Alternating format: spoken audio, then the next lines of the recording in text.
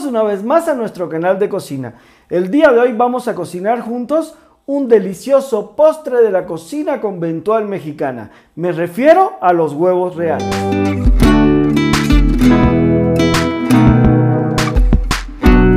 Hola amigos, hola amigos, hola amigos, bienvenidos una vez más a mi canal de cocina.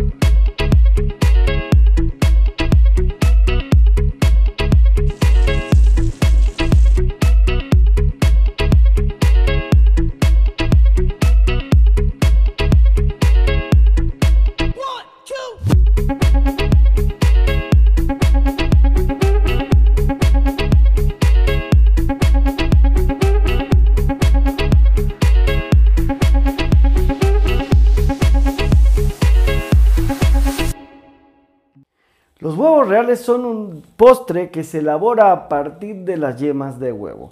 En México eh, muchos postres se hacían en la época, sobre todo en la época colonial, eh, a partir de este elemento, sobre todo porque, porque bueno, las claras de huevo ah, eran usadas en otros postres, pero también comenzaron a utilizarse como pegamento en las, para las láminas de oro en los retablos de las iglesias. Por lo tanto, había muchísimo sobrante de yema. Y es ahí donde comienzan a nacer este tipo de preparaciones. La primera referencia en México de este postre la tenemos en el año de 1540, en el convento de la Concepción en Ciudad de México. Em, obviamente todos estos eh, postres de origen conventual en toda la América Latina tienen su origen o su epicentro en los conventos de España. Al llegar las monjas de clausura y, comer, y comenzar la evangelización en América, obviamente traían las técnicas de... Em, del viejo mundo. Al, llegar acá, bueno, entonces comenzaron a conocer nuevos ingredientes y fueron estos ingredientes los que se fueron incorporando en los nuevos postres. Tal es el caso en, este que vamos a hacer hoy de la biznaga, que es un elemento eh, prehispánico que se incorpora a este postre en la novohispana. La receta que vamos a preparar hoy es de nada más y nada menos de Sor Juana Inés de la Cruz. Sí, ella, em, considerada en México como la décima musa. ¿Por qué? Por todos los escritos que realizó. Pero aparte de todas las, grandes y nobles obras que, que, ella hizo, pues también escribió sobre la cocina. De hecho, su recetario es el recetario más antiguo o es considerado como el primer recetario escrito en México. Algunos suscriptores me han dicho, oiga chef, ¿por qué no habla de usted, de dónde estudió, de mm, algo de su vida profesional? Bueno, es el momento y es la coyuntura con esta receta de hablar un poquito de eso. Em, me ha apasionado siempre muchos temas de la cocina y la influencia de las religiones en la cocina siempre me ha interesado mucho. En Cuba eh, tengo un trabajo que eh, obtuvo el primer lugar a nivel nacional en el primer concurso de panadería y dulcería celebrado en eh, las escuelas de Formatur, eh, donde presenté la influencia de la Iglesia Católica y de la santería en la cocina cubana. Este trabajo también em, lo presenté en otro concurso ya eh, de forma práctica donde hicimos un altar, pero esto se refería un poquito más al tema de la santería, que también lo he expuesto en, en otros lugares como en Mérida, Yucatán o en Cancún, Quintana Roo. En un evento de la Secretaría de Turismo aquí en el estado de Michoacán, presenté este postre, este postre como parte de un trabajo que hice de la influencia del catolicismo en la cocina mexicana. Y bueno, em, los invitados pudieron deleitar este sabroso postre que espero tú lo puedas hacer en casa. Sin más, pasemos entonces a la elaboración de nuestra receta, pero no sin antes conocer los ingredientes para estos huevos reales. Para los huevos reales vamos a emplear yemas de huevo, agua, azúcar, ajonjolí, almendras, acitrón, uvas pasas, nueces, piñones, rama de canela, vino de jerez y corteza de limón. Esta receta la vamos a dividir en dos partes fundamentales. Una eh, es la masa y la otra es el almíbar con que se va a emborrachar.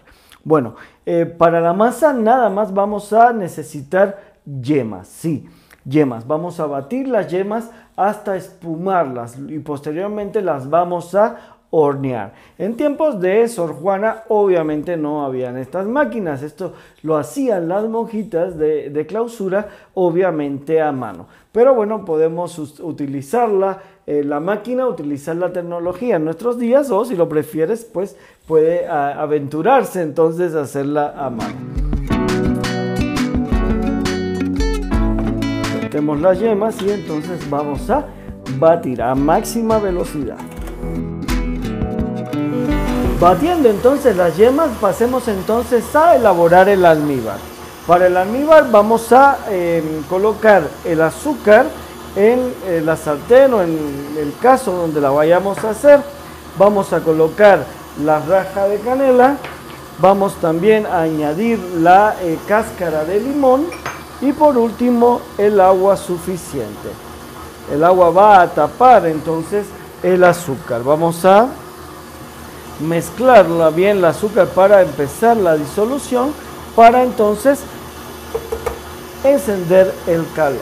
Una vez prendido el calor, vamos entonces a eh, ir elaborando el almíbar. Mientras, eh, con una, eh, siempre lo hemos dicho en todos los videos, vamos a ir limpiando lo que es los laterales. ¿Para qué? Para evitar la cristalización del azúcar.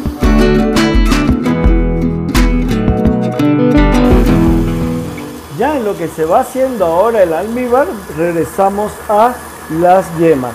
Vimos que las yemas ya estaban espumadas, vamos a, a quitar la velocidad. Bajamos y limpio entonces los bordes. ¿Para qué? Para reincorporar cualquier elemento que pueda eh, quedar adherido y las aspas del globo no lleguen realmente a em, moverlos. Entonces vamos a limpiar la, eh, la, miserable y damos una última batida. Ya tenemos lista entonces nuestras yemas batidas. Vean cómo han espumado, qué bonitas. ¿Por qué espuman las yemas? Eh, obviamente porque tienen gran cantidad de proteínas en su composición. No tanta como la ovoalbúmina que podemos encontrar en la clara, pero sin embargo la yema también lo llega a hacer. Bueno, toda esta masa entonces aireada vamos a adicionarla en este molde, en este refractario eh, previamente engrasado y enharinado. ¿Esto es para qué? Para hornearlo y hacer esta, estas yemas horneadas eh, que va a fungir como una especie de esponja que va para posteriormente absorber todo el almíbar. El horno está precalentado a 200 grados. Voy a introducir entonces nuestra, eh, nuestra masa y vamos a bajarlo hasta 180 grados. Esto va a estar cocinado entre 20 y 25 minutos, recordando siempre que eso dependerá de tu horno. Amigos, ya casi está lista nuestra almíbar. Solo nos resta entonces adicionar el vino de Jerez. Dejamos el vino de Jerez un par de minutos más al fuego para que eh, evapore el alcohol y nos deje entonces eh, la esencia del vino. Nada más voy a colocar las uvas pasas para dejar reposar y se rehidraten. Esto es opcional, realmente eh, no hace falta. Amigos, ya sacamos nuestras yemas horneadas del horno. Aquí tenemos, vean cómo ha crecido, realmente muy bonitas. Se toca y se siente esponjadita, pero ¿cómo vamos a saber que ya está lista? Le metemos el eh, mondador y que salga completamente seco. Vamos entonces a cortarlo. Podemos apreciar, ya está despegado, vamos a cortarlo. Se cortan unos cuadrados vamos a hacer que vamos a retirar entonces de nuestro plato. Vamos a cortarlo todo mejor de una vez y así ya podemos porcionarlo para poderlo servir. Podemos observar lo esponjoso que ha quedado. Esto es por todo el aire que hemos incorporado al centro de la preparación. Y así, si sacamos todos los... Eh, las porciones que tenemos, bueno, van a quedar igual. Vean qué hermoso están quedando. Apartamos un poco ya y tenemos servido aquí en nuestro plato eh, las yemas. Tenemos el almíbar y vamos a bañarlos. Es importante hacer este bañito. ¿Por qué? Porque eh, realmente va a absorber todo este sabor que tiene nuestra almíbar. Vamos a quitar un poco la cáscara, la podemos dejar en el almíbar para que se siga saborizando. Quitamos las cáscaras y listo. Bueno, tenemos un poquito más de, de pasas que podemos ponerle para que eh, estén bien parejitos. Luego, ¿qué vamos a hacer? Ponerle un poquito de la biznaga. Vamos a ponerle dulce de biznaga. Le colocamos unas nueces. Es importante, muy importante que se hayan tostado antes. Los piñones, almendras fileteadas y por último ajonjolí Es importante que todos estos frutos secos estén tostados porque así vamos a realzar sus sabores en los aceites esenciales.